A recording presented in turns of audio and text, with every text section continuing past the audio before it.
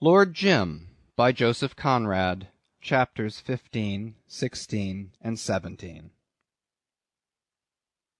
CHAPTER 15 I did not start in search of Jim at once, only because I had really an appointment which I could not neglect.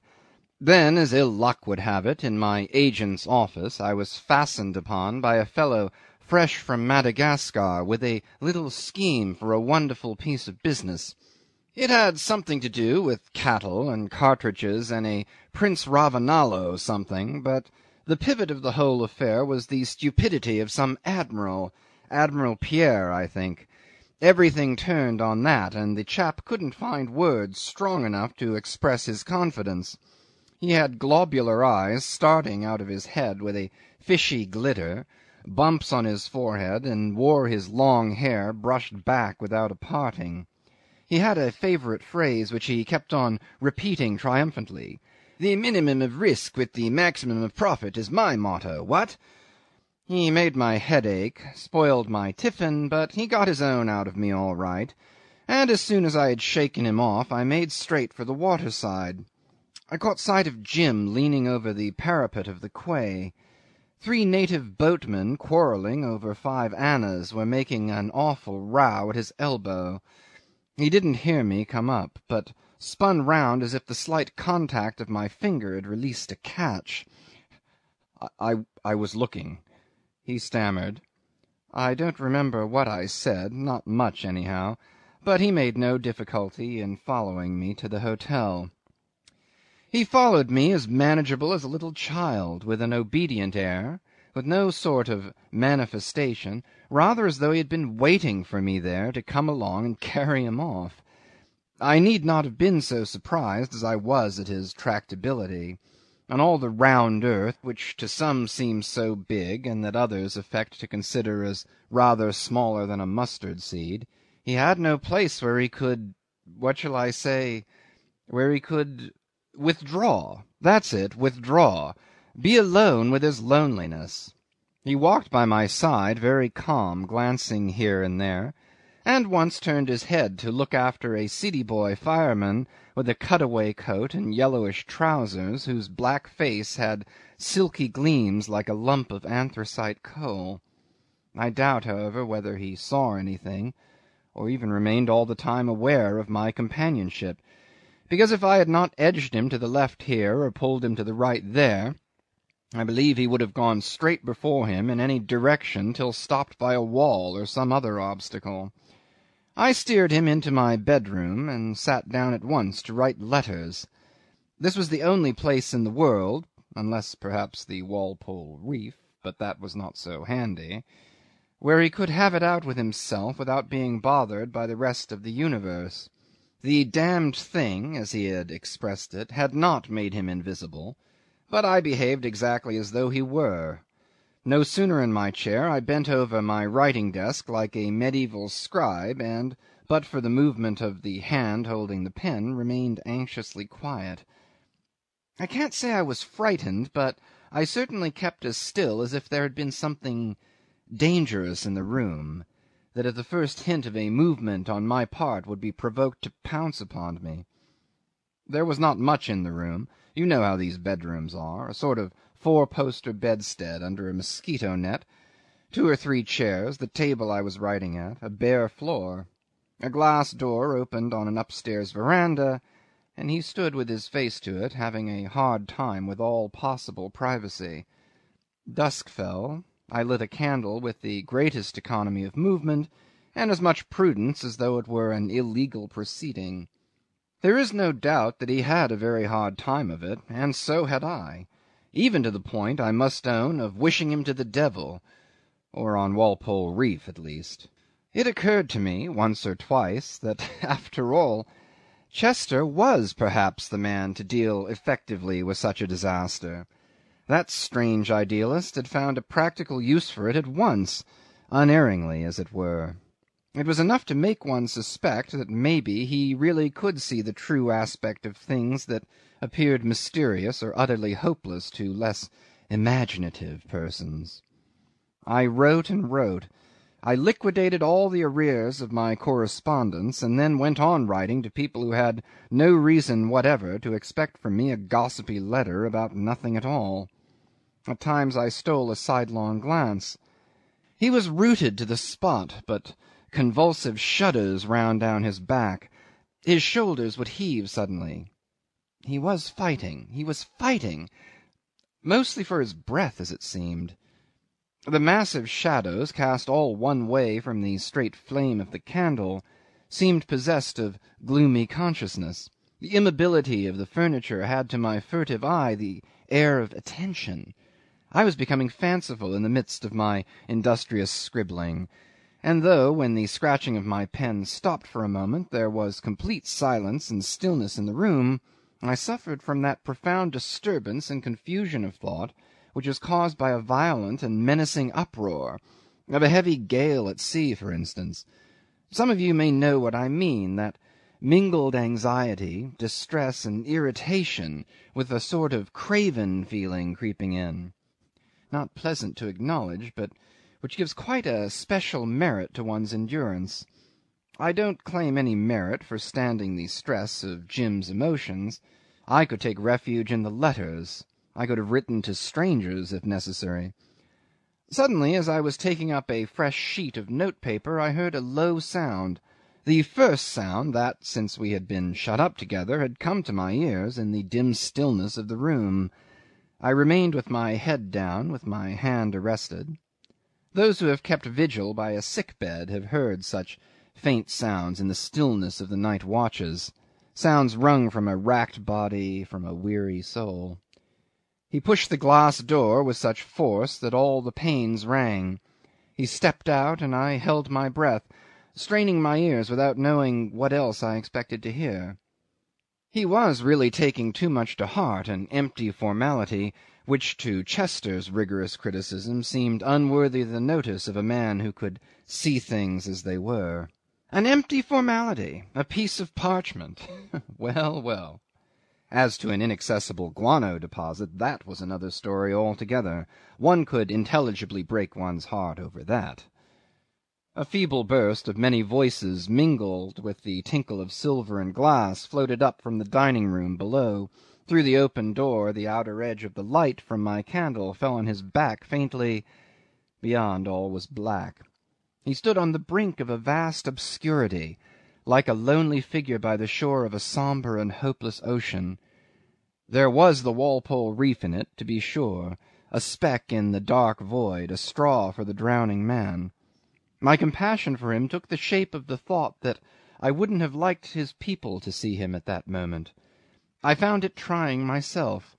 His back was no longer shaken by his gasps; he stood straight as an arrow, faintly visible and still, and the meaning of this stillness sank to the bottom of my soul like lead into the water and made it so heavy that for a second I wished heartily that the only course left open for me was to pay for his funeral. Even the law had done with him. To bury him would have been such an easy kindness.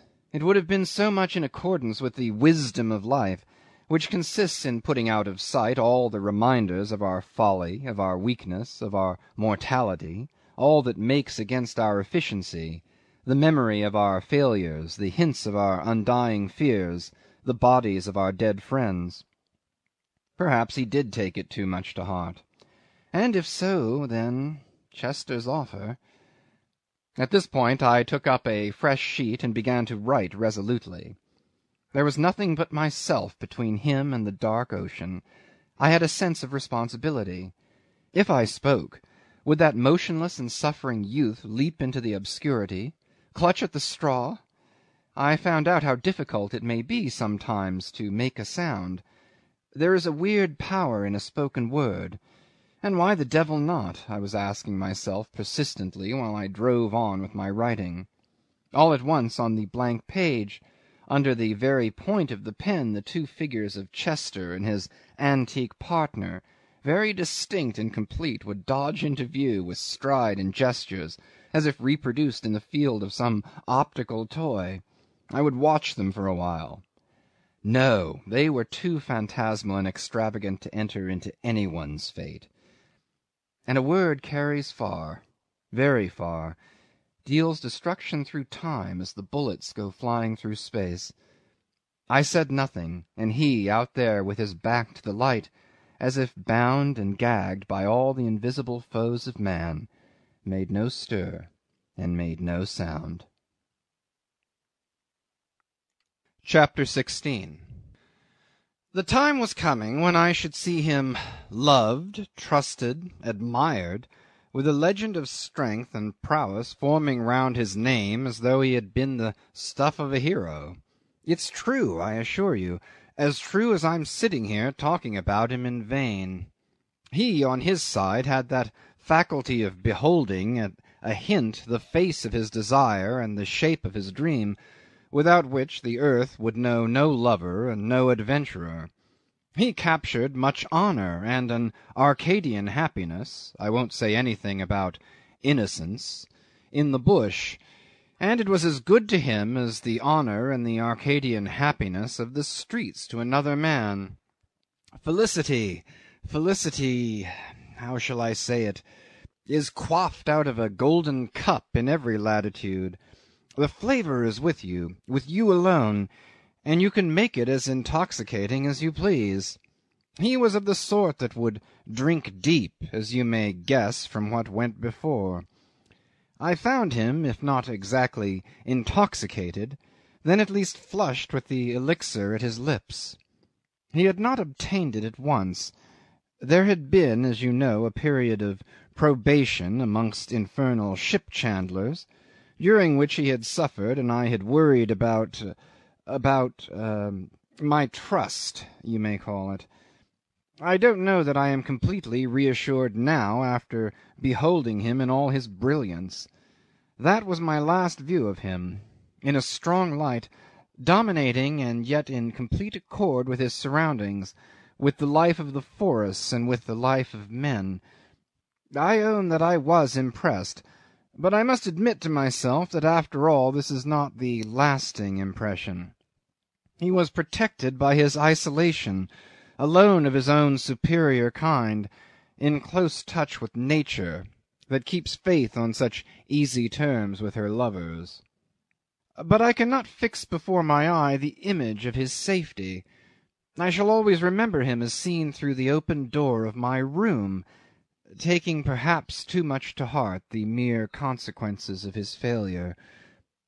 I am pleased, of course, that some good, and even some splendour, came out of my endeavours, but at times it seems to me that it would have been better for my peace of mind if I had not stood between him and Chester's confoundedly generous offer. I wonder what his exuberant imagination would have made of Walpole Islet, that most hopelessly forsaken crumb of dry land on the face of the waters. It is not likely I would ever have heard, for I must tell you that Chester, after calling at some Australian port to patch up his brig rigged sea anachronism, steamed out into the Pacific with a crew of twenty two hands all told, and the only news having a possible bearing upon the mystery of his fate was the news of a hurricane which is supposed to have swept in its course over the Walpole Shoals a month or so afterward. Not a vestige of the Argonauts ever turned up. Not a sound came out of the waste. Finis. The Pacific is the most discreet of live, hot tempered oceans. The chilly Antarctic can keep a secret too, but more in the manner of a grave. And there is a sense of blessed finality in such discretion, which is what we all more or less sincerely are ready to admit for what else is it that makes the idea of death supportable? End. Finis. The potent word that exorcises from the house of life the haunting shadow of fate. This is what, notwithstanding the testimony of my eyes and his own earnest assurances, I miss when I look back upon Jim's success.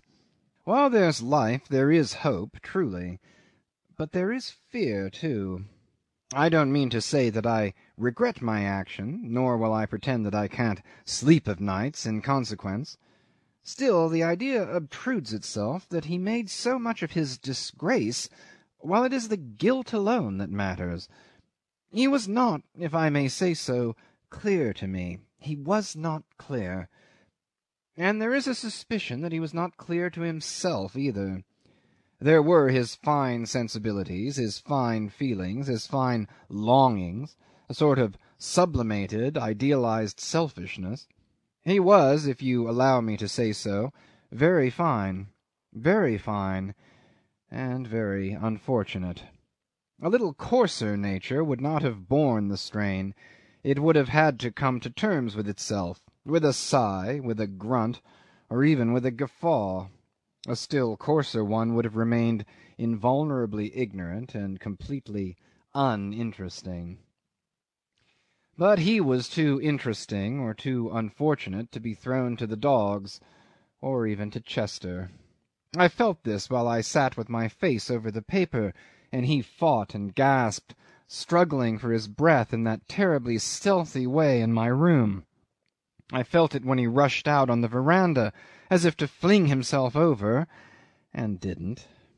I felt it more and more all the time he remained outside, faintly lighted on the background of night, as if standing on the shore of a sombre and hopeless sea. An abrupt heavy rumble made me lift my head.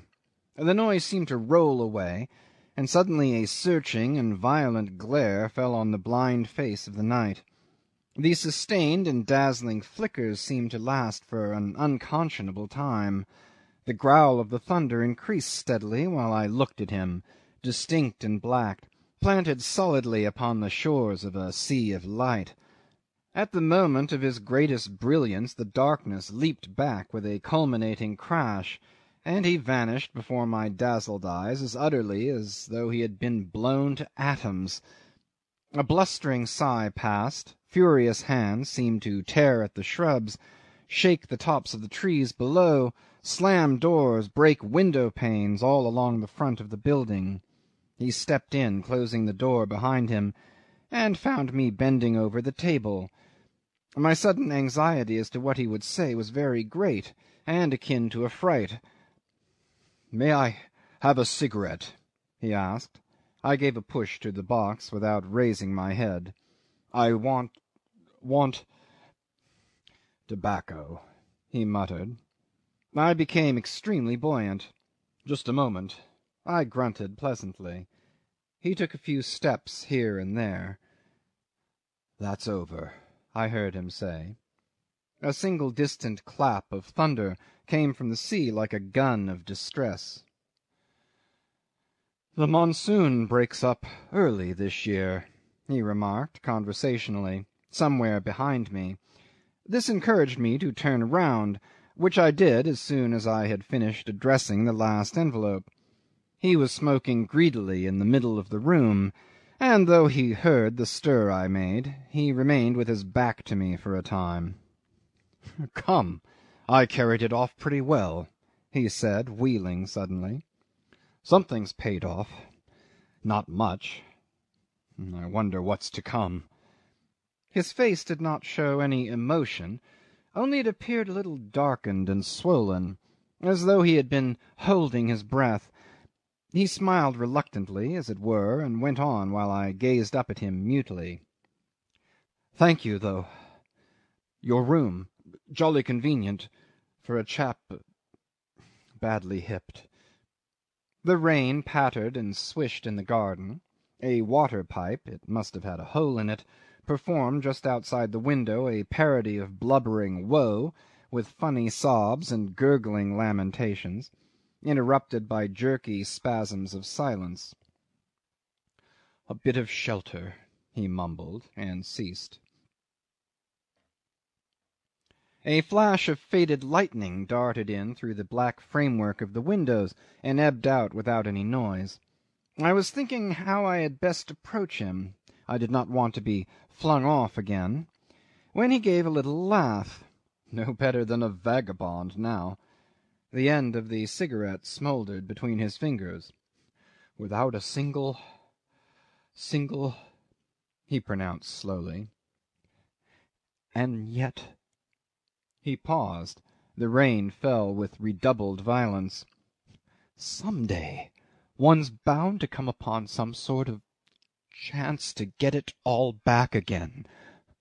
Must, he whispered distinctly, glaring at my boots. I did not even know what it was he wished so much to regain, what it was he had so terribly missed. It might have been so much that it was impossible to say. A piece of ass's skin, according to Chester. He looked up at me inquisitively. "Perhaps, uh, if life's long enough," I muttered through my teeth with unreasonable animosity. "Don't reckon too much on it." "Jove! I feel as if nothing could ever touch me," he said in a tone of sombre conviction.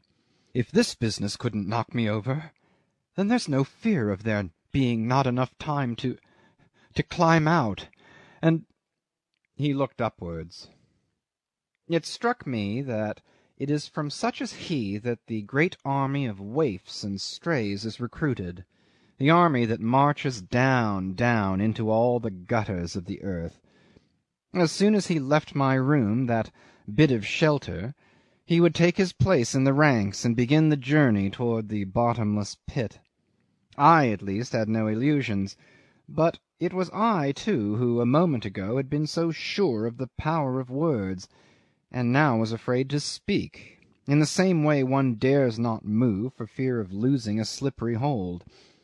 It is when we try to grapple with another man's intimate need that we perceive how incomprehensible, wavering, and misty are all the beings that share with us the sight of the stars and the warmth of the sun.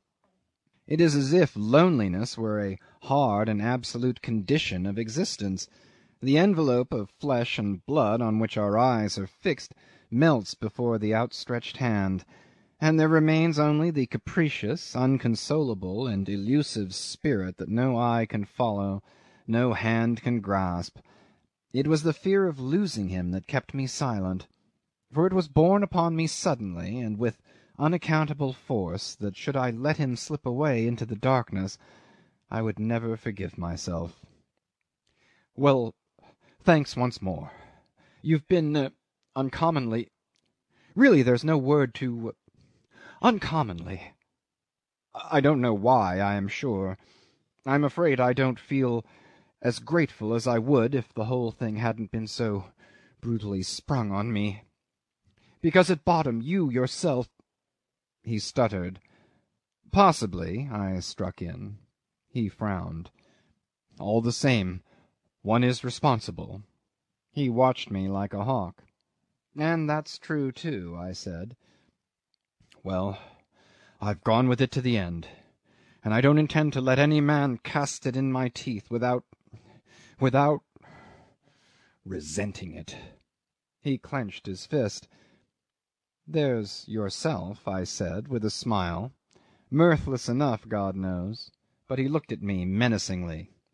"That's my business," he said.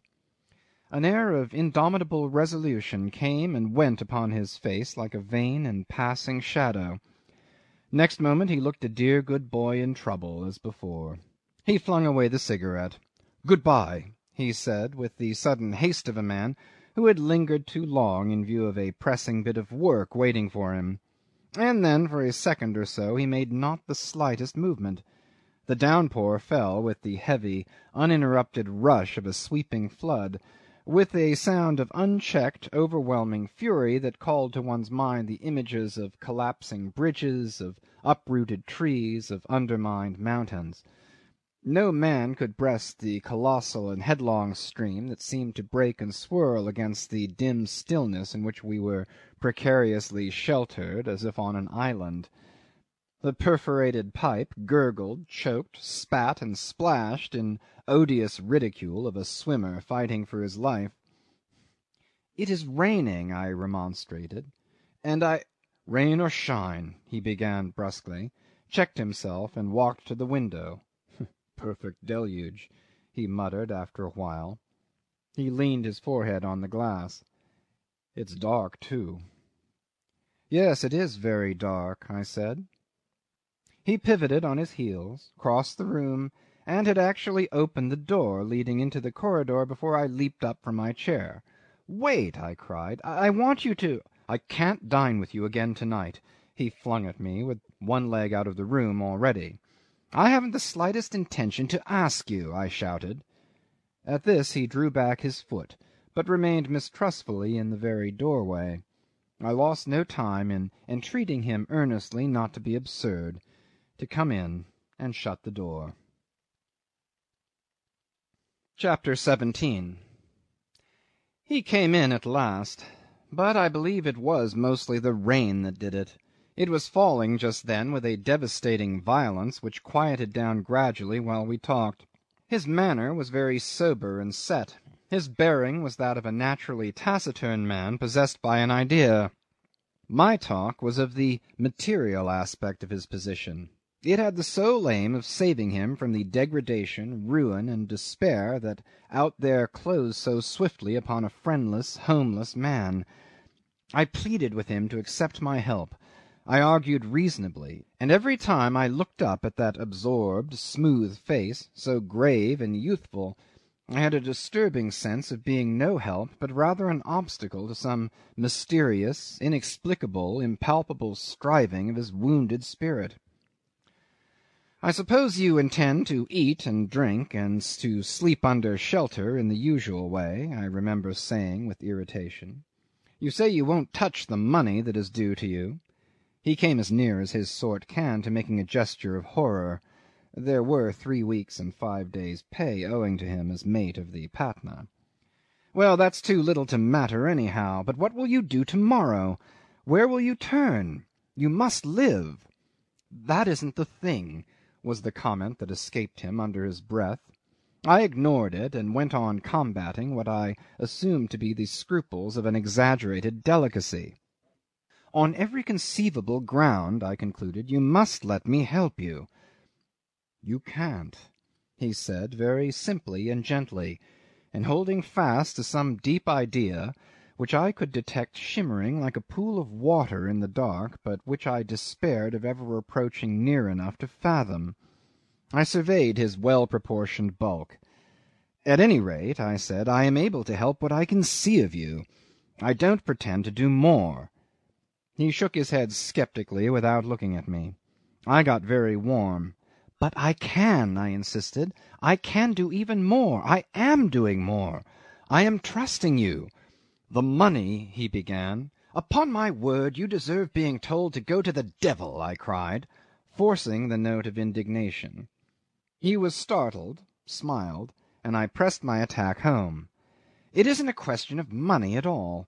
You are too superficial," I said, and at the same time I was thinking to myself, Well, here goes. And perhaps he is, after all. Look at the letter I want you to take. I'm writing to a man of whom I've never asked a favour, and I'm writing about you in terms that one only ventures to use when speaking of an intimate friend. I make myself unreservedly responsible for you. That's what I am doing. And really, if you will only reflect a little what that means. He lifted his head. The rain had passed away. Only the water pipe went on shedding tears with an absurd drip drip outside the window. It was very quiet in the room, whose shadows huddled together in corners away from the still flame of the candle flaring upright in the shape of a dagger. His face after a while seemed suffused by a reflection of a soft light, as if the dawn had already broken. "Jove!" he gasped out. It is noble of you." Had he suddenly put out his tongue at me in derision I could not have felt more humiliated. I thought to myself, serve me right for a sneaking humbug. His eyes shone straight into my face, but I perceived it was not a mocking brightness. All at once he sprang into jerky agitation, like one of those flat wooden figures that are worked by a string. His arms went up, then came down with a slap. He became another man altogether. "And I had never seen," he shouted, then suddenly bit his lip and frowned. "What a bally ass I've been," he said, very slow, in an awed tone. "You are a brick!" he cried next in a muffled voice. He snatched my hand as though he had just then seen it for the first time, and dropped it at once. Why, this is what I you I he stammered, and then with a return of his old stolid, I may say mulish manner, he began heavily, I would be a brute now if I and then his voice seemed to break. "That's all right," I said. I was almost alarmed by this display of feeling, through which pierced a strange elation. I had pulled the string accidentally, as it were. I did not fully understand the working of the toy. "I must go now," he said. "Jove! You have helped me. Can't sit still. The very thing." He looked at me with puzzled admiration. "The very thing." Of course it was the thing. It was ten to one that I had saved him from starvation of that peculiar sort that is almost invariably associated with drink. This was all. I had not a single illusion on that score. But looking at him I allowed myself to wonder at the nature of the one he had, within the last three minutes, so evidently taken into his bosom. I had forced into his hands the means to carry on decently the serious business of life, to get food, drink, and shelter of the customary kind while his wounded spirit, like a bird with a broken wing, might hop and flutter into some hole to die quietly of inanition there. This is what I had thrust upon him a definitely small thing; and, behold! by the manner of its reception it loomed in the dim light of the candle like a big, indistinct, perhaps a dangerous shadow. "You don't mind me not saying anything appropriate?" he burst out. "There isn't anything one could say. Last night already you had done me no end of good. Listening to me, you know. I give you my word I've thought more than once that the top of my head would fly off." He darted, positively darted, here and there, rammed his hands into his pockets, jerked them out again, flung his cap on his head.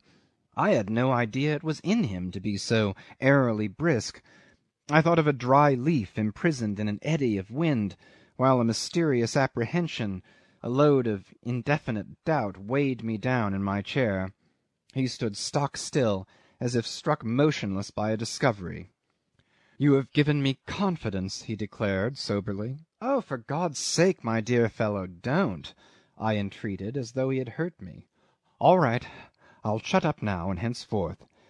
Can't prevent me thinking, though. Never mind. I'll show yet." He went to the door in a hurry, paused with his head down, and came back, stepping deliberately.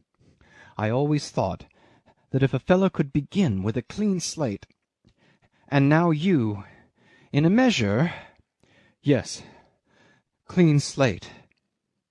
I waved my hand, and he marched out without looking back. The sound of his footfalls died out gradually behind the closed door the unhesitating tread of a man walking in broad daylight. But as to me, left alone with the solitary candle. I remained strangely unenlightened. I was no longer young enough to behold at every turn the magnificence that besets our insignificant footsteps in good and in evil. I smiled to think that after all it was yet he of the two of us who had the light. And I felt sad.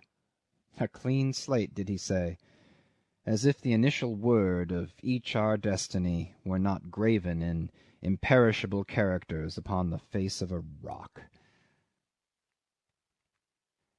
End of chapters 15, 16, and 17